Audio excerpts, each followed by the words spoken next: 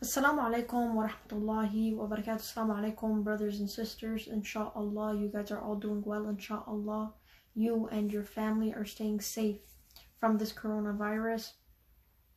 Alhamdulillah, the coronavirus has slowed down in Michigan.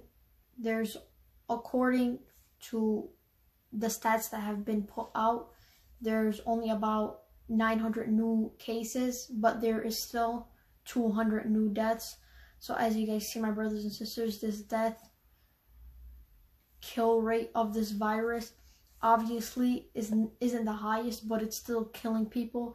So my brothers and sisters, please during this time of fear, just stay home. There's a lot of people that have been saying like, "Oh, I want to go see my friend. I want to go to my friend's house." My brothers and sisters, it's not worth your life. It's not worth you dying. It's not worth giving the virus to your family and before you know it, us staying in our house, us on lockdown will end. And at this rate, it looks like it will be ending sooner than we all thought. If it keeps going like this, like yesterday, it was increasing at a rate of like 1,700. Now it's increasing by 800, 900. So we'll see how it increases tomorrow. Hopefully, it just keeps dropping daily. Because my brothers and sisters, like we know, this is killing a lot of people and we just want this virus to stop. As we know, the holy month of Ramadan is very nearby, less than two weeks, and inshallah we will all be fasting. It's highly recommended, my brothers and sisters, just to say this, fast at least three days in every month. It's not hard. fast once every 10 days. Once every 10 days. Not only is fasting amazing for you, they, according to Rasulullah, one who fasts shall live a, a longer life.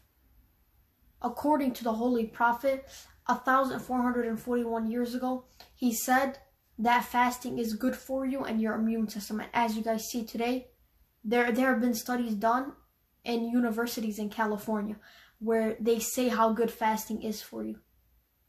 It cleans out your system. And like we're saying, my brothers and sisters, it's not fasting like we do in Ramadan like fast once every week, once every 10 days, like I've been saying. At least a minimal fast three days in a month. So you can clean out your system. Because daily, your your body is working. It's daily working when you're not fasting. So for one day out of 10 days, let your body rest. There's uh somebody that said let it rest for 16 hours, which is the amount of hours you will be fasting and then you could eat for the next eight hours. Obviously, that doesn't mean for the next straight eight hours you eat. You guys know what I mean. So, yeah, if you guys can just fast as often as you possibly can. Of course, if you're putting your health in danger or putting yourself in danger physically or mentally, don't do it. Because there's a lot of people that start having problems when they fast, such as throwing up, their, they, their head starts hurting. Of course, in Ramadan, if you can handle that, do it. But aside from that, if it's just mustahab fast, of course, try your best to do it, my brothers and sisters, but you guys don't have to do it. I'm just saying that it's really good for you. It helps clean out your system. It helps you feel better for that day. Inshallah, as you guys know, like I said, Ramadan is very close. The holy month of Ramadan, my brothers and sisters, in two weeks. So inshallah during this virus, we've all been reading Quran, we've all been reading dua. As you guys know, in the holy month of Ramadan, you get extra rewards for reading Quran, you get extra rewards for reading dua. There are a bunch of sayings, a bunch of hadiths that state one who reads one ayah is like he's read the whole Quran. Some say one who reads one surah is like as if he's read the whole Quran. So my brothers and sisters, you could say that this virus coming during the time of Ramadan is kind of good. You could say that. You're in the house most of the time, you got nothing to do. You can read Quran. You got nothing to do. So my brothers and sisters, all I'm trying to say is take advantage of this. Take advantage of this. If we, we've had almost a month off, my brothers and sisters, get used to a new schedule, waking up for morning prayer, praying the nightly prayer. Take advantage of this, my brothers and sisters. People see this as, oh, it's Allah subhanahu wa ta'ala trying to punish us.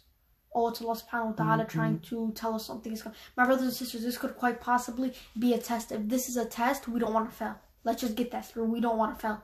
If this is truly the end of the world, what's the point of us stacking up bad deeds on top of each other? Before this virus came, they say, oh, we want to be close to Allah subhanahu wa ta'ala. This was a general saying. We want to be close to Allah subhanahu wa ta'ala.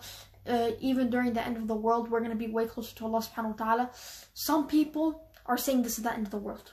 Let's say, my brothers and sisters, this is the end of the world. What did we do? We, we moved farther away from Allah subhanahu wa ta'ala. Is that truly what we're supposed to be doing? We're supposed to be getting close to Allah subhanahu wa ta'ala and use Ramadan, Shahr Ramadan, the holy month of Ramadan. Use it as a blessing.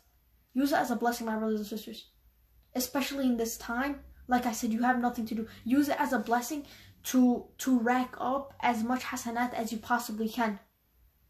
Like we know, the the reward that you get from reading Quran, from reading Dua, from doing holy acts in Shahr Ramadan, the holy month of Ramadan, are multiplied by thousands. Thousands, my brothers and sisters. So as often as you can, everybody should already be reading Quran on a daily basis. Five minutes, ten minutes, at least to read one ayah of Quran as often as you possibly can. So reading Quran during Ramadan shouldn't be hard. You should be way more motivated. Way more motivated racking up as much hasanat as you possibly can. Inshallah, my brothers and sisters,